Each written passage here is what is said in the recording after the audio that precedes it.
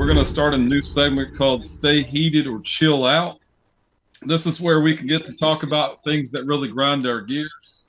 And, and then we'll talk about whether or not they should chill out or just, you know, or stay heated. You know, some things that are really important, you know, but there's also some things that maybe you just I don't know, care a little too much about. All right. Um, so when I think about this, we're going to go ahead and do stay heated, chill out. When I think about this, of all people I can think of that probably gets their gears ground the most, and I might need to tell them to chill out more than I say stay heated. It's going to be Greg. So I'm going to go to you. Seems like you got some uh, some things to um, to cover there, Greg. Um, now we're not going to make this like a three hour therapy session or anything, but have at it, man. Go ahead and Yeah, I don't want to make anybody mad. come on, come on. What you got, Uh, Greg? I I think we were talking about having the right tools for the job, right? You do have to have the right tools for the job. But I, you know, let's be real. One of my pet peeves is, is it's about heat pumps. And the Gree Flex, it's, I can go back to that inverter voodoo thing, that they think it's magically a whole new system. So I just, it just kind of grinds my gears a little bit that it's still a heat pump.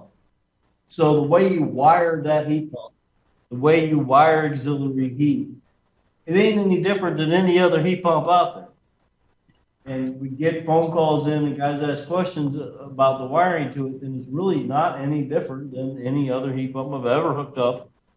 The only difference to it is we have a D terminal on the indoor unit that we're allowed, that gives us one ability that I've never seen another heat pump do, which is when it goes into defrost, we can send the defrost signal from the outdoor unit to the indoor unit, shut down the blower, provided electric heat's not on.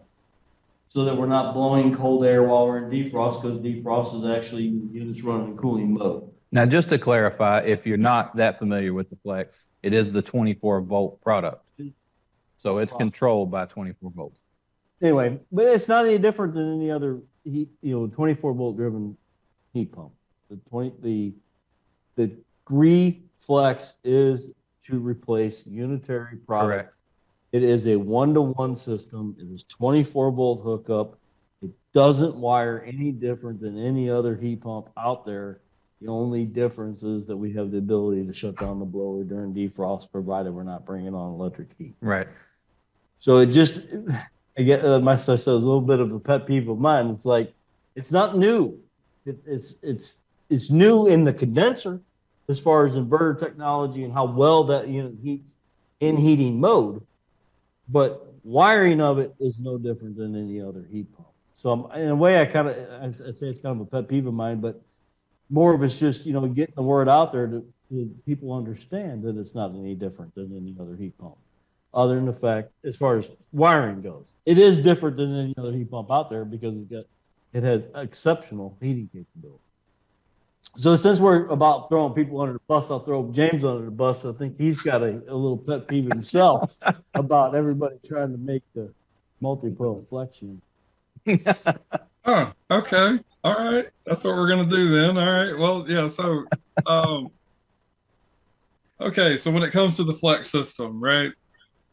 It it is an inverter driven system, uh, but there's a handful of features that people have requested that uh, like a variable speed blower with multi-tap and all that, um, among other things. Uh, being able to do multiple zones on it, being able to put a wall mount on it, just all kinds of stuff, you know, that we get requested and I, I'm trying to not get really worked up. But uh, we currently offer that, and it is a multi-pro system. You know that gives you exceptional heating performance, much better than the Flex if you choose an Ultra Heat. Um, it gives you a fully variable speed motor, uh, five speeds plus a turbo speed. Uh, you can use up to ten indoor units on it.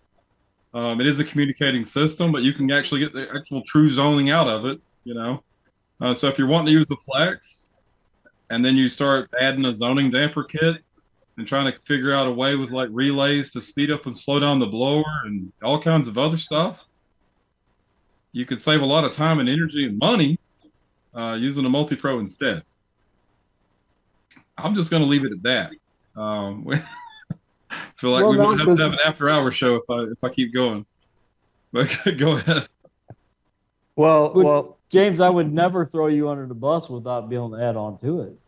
Oh yeah, that's true. So right behind us, and this is kind of a little plug for the next couple Tech 90s coming up. If you're not familiar, so this is the new Gree dual fuel coil. So along with the one thing we can step one further further than the Flex. We well the Flex you can do dual fuel now, correct. but the Flex cannot do dual fuel and have a wall mount or cassette.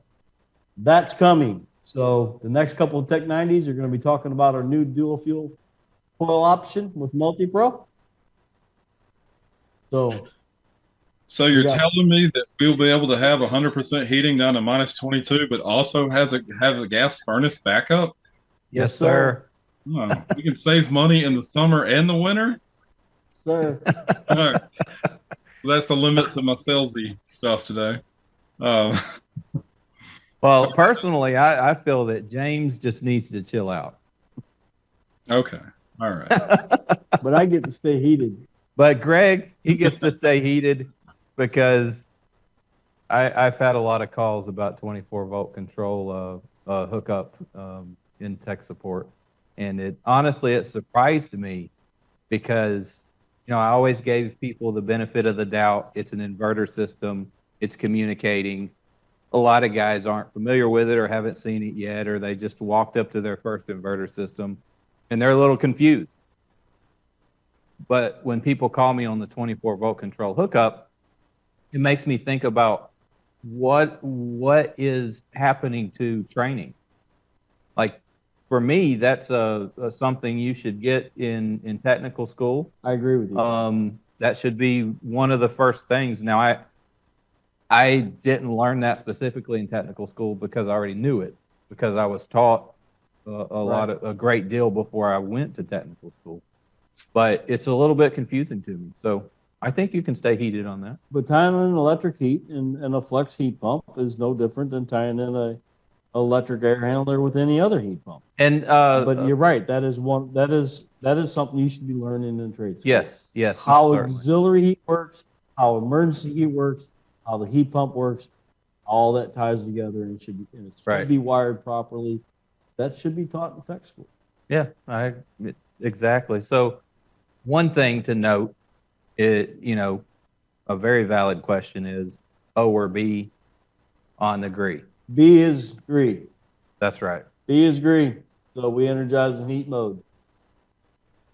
Reverse valve energizes in heat mode on the Gree unit. I got you. So what terminal it energizes uh, on a multi-pro? On a multi-pro, Yeah. depends. Right. The dual fuel coil, it's gonna it's be gonna be B. B. Hey, how about that? Uh, Well, okay, so I'm supposed to remind everybody to um, they can submit a vote to either stay heated or chill out. We'll just leave that on Greg's thing, you know, uh, talking about wiring heat pumps. So if you think that Greg should just chill out, go ahead and vote. If you think he should stay heated, now we're now we're going to take a look at the results from the stay heated or chilled out segment, and uh, let's see what that is. I mean, I voted to stay heated. Jesus said stay heated, and uh, Daniel also said that Greg should stay heated about 24 volt wiring on a flex system, right? All right. It's obviously a really important thing. It looks like we got how many how many fires are we going to have on there? All right. Looks like we got four flames. We got all burners going. So um, You'll, he's ne- really heated. you'll never get a chill from me.